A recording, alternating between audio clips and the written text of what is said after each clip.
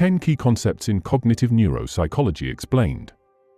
Cognitive neuropsychology studies how brain structures relate to cognitive functions, often through cases of brain damage or dysfunction.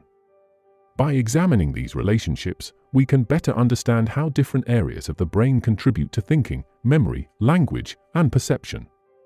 Here are 10 key concepts that have shaped this field. 1. Modularity of mind. The brain is composed of distinct regions, or modules, that handle specific cognitive functions like memory and language. Damage to a module affects only the associated function, revealing the brain's modular structure. 2. Functional specialization. Specific areas of the brain are specialized for certain cognitive functions. For example, the occipital lobe is dedicated to vision, while Broca's area focuses on speech production. 3. Brain lateralization. The left hemisphere is dominant for language and logic, while the right hemisphere manages spatial skills and creativity.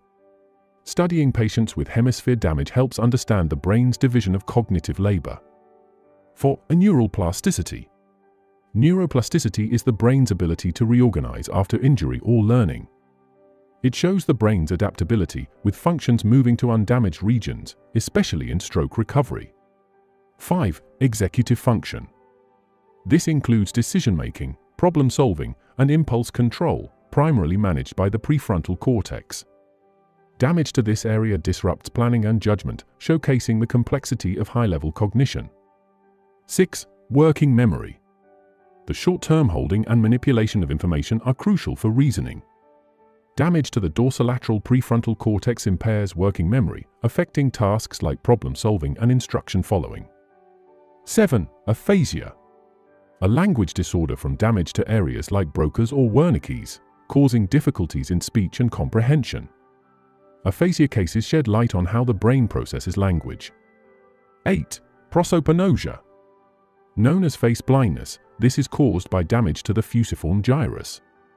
Studying this condition helps understand how the brain processes facial recognition versus other visual objects. 9. Attention networks.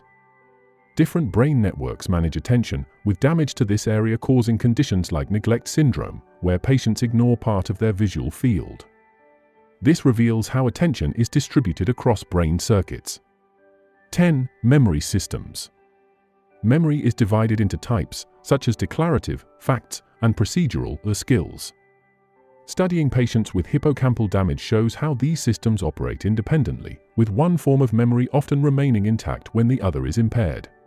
Cognitive neuropsychology uses these concepts to explore brain injuries and dysfunctions, helping improve treatment for cognitive deficits. If you learn something new about how psychology affects our daily lives, then consider subscribing to my YouTube channel so that you don't miss the next episode. Until next time, stay sharp.